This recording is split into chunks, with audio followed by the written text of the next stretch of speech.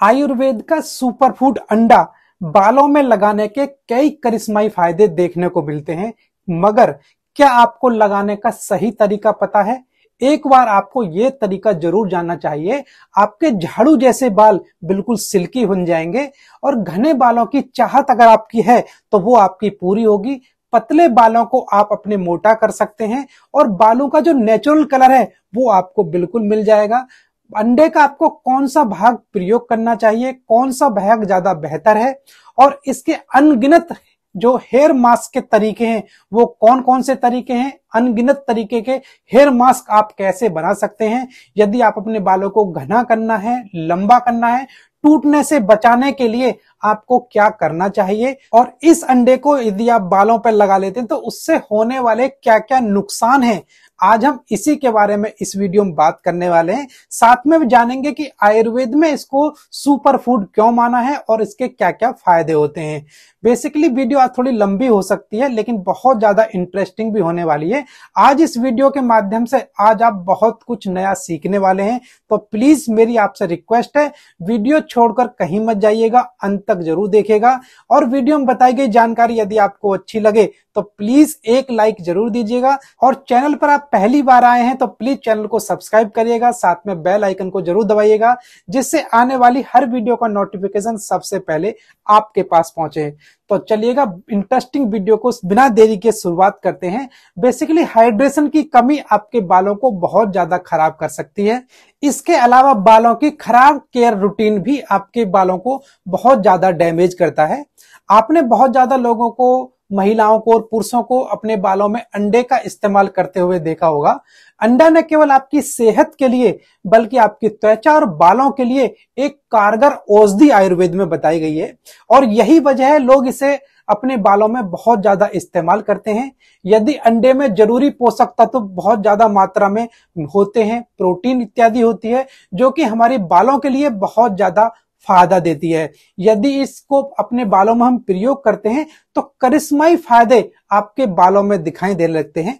खूबसूरती न केवल चेहरे से, बल्कि आपके लंबे बालों से और बालों से भी आपकी झलकती है। इसलिए स्किन के साथ साथ अपने बालों की भी देखभाल करना बहुत ज़्यादा ज़रूरी है। घने और मज़बूत बालों की जो चाहत है, वो हर किसी को होती है। हालाँकि बहुत ज़्यादा धूल में रहने की वजह से, प्रदूषण की वजह से, गंदगी की वजह से, या फिर कुछ स्वास्थ्य संबंधित समस्याओं की वजह से, हमारे बाल अक्सर बहुत ज़्यादा रूखे हो जाते हैं, बेजान हो जाते हैं, कमज़ोर हो जाते हैं और टूटकर गिरने लगते हैं।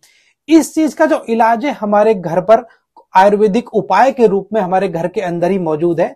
आप अपने बालों में अंडा लगा सकते हैं और कई ज़बरदस्त फ़ायदे आपको देखने को मिलेंगे, क्योंकि अंडे के अंदर अच्छी मात्रा में आपको प्रोटीन मिल जाती है। बेसिकली प्रोटीन बालों की सेहत के लिए बहुत ज़्यादा ज़रूरी होती है, क्योंकि अगर प्रोटीन अगर कमी हमारे शरीर में होने लगे तो बाल हमारे झड़ने शुरू हो जाते हैं। साथ में अंडे में ओमेगा थ्री फैटी एसिड मौजूद होता है, जो कि बालों की रंगत को बेहतर बनाने में काफ़ी ज़्यादा मददगार होता है।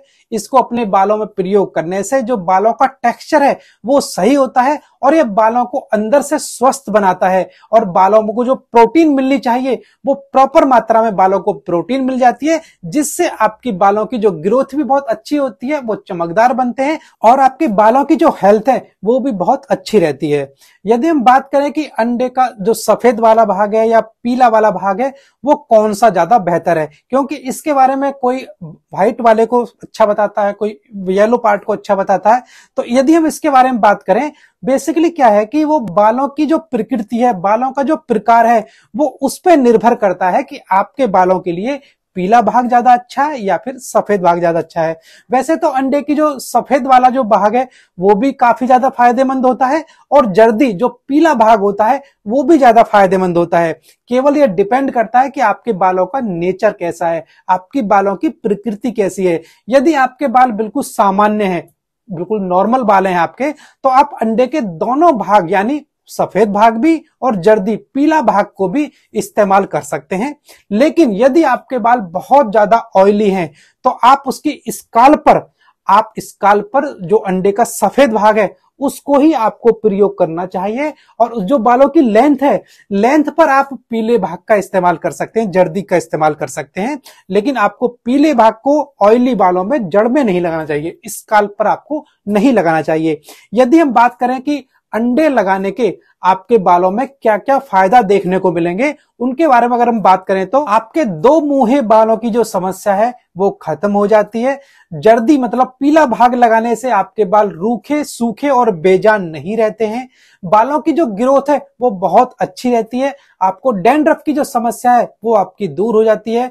बालों का जो झड़ना है, वो बहुत कम हो जाता है और बालों की क्वालिटी में काफ़ी ज़्यादा सुधार होता है। बालों में एक चमक आती है और बालों में होने वाले जो नुकसान है उनसे अंडा काफ़ी हद तक बचाता है। आपके जो बाल एकदम झाड़ू जैसे हो गए, वो एकदम सिल्की हो जाते हैं और इसमें आपकी जो नेचुरल रंग है बालों का, वो भी आपको आना शुरू हो जाता है। तो इस तरह से यदि आप अंडे को अपने बालों में इस्तेमाल करते हैं तो उसके बहुत ज़बरदस्त फ़ायदे आपको देखने को मिलते हैं। यदि हम बात करें कि आपके बाल को आपको घना करना है तो घना करने के लिए आपको अंडे का इस्तेमाल कैसे करना चाहिए? सबसे पहले आपको दो अंडे लेने और उसके पीले भाग को एक बाउल में आपको उनको निकाल लेना है। अब इस पीले भाग को आपको अच्छी तरह से फेंट लेना है और फेंटने के बाद इस पीले भाग को अपने स्काल पर अच्छे से आपको इसको मसाज करना है और लगभग आधा घंटे इसको लगा रहने दें और आधा घंटे बाद आपको हल्के गुनगुने पानी से अपने बालों को धुल लेना है।